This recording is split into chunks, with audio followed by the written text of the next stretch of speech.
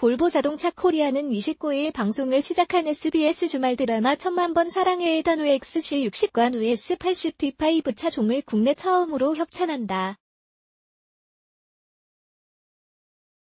극중 자유분방한 재벌 2세 캐릭터의 남자 주인공 정겨운, 백광호 역은 XC60을 타고 나와 역동적이면서 트렌디한 이미지를 공개한다. 엘리트 경영인 역할의 유진, 백세훈 역, 은 진중하면서도 섬세한 남성의 캐릭터로 볼보의 플래그십 디젤 세단 S80D5의 이미지를 표현한다.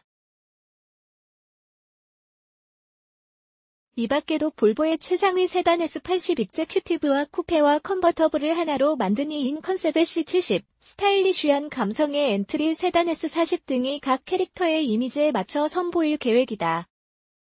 볼보 자동차 코리아의 김철호 대표는 감성 가치를 중요하게 생각하는 고객들이 자신의 라이프 스타일을 대변하는 극중 캐릭터를 통해 볼보의 매력을 체험할 수 있도록 차량 협찬을 진행하게 됐다라고 밝혔다.